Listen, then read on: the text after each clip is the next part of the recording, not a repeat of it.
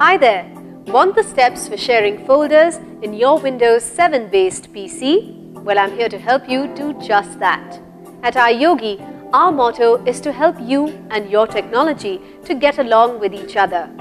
You should know that on your Windows 7 based PC, you can share folders by adding them to one of the public folders. By doing so, other user accounts can access the public folders along with the people on your network if you enable public folders access. So here's how you can share folders in your PC. Follow me. Click on Start and select Documents. Look to the pane to the left of the screen when the Documents window opens and click Public Documents.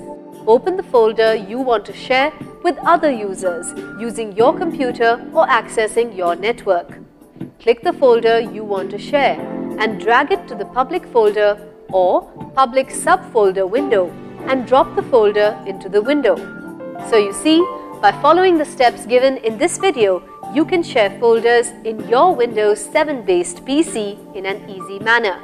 Don't you just love technology?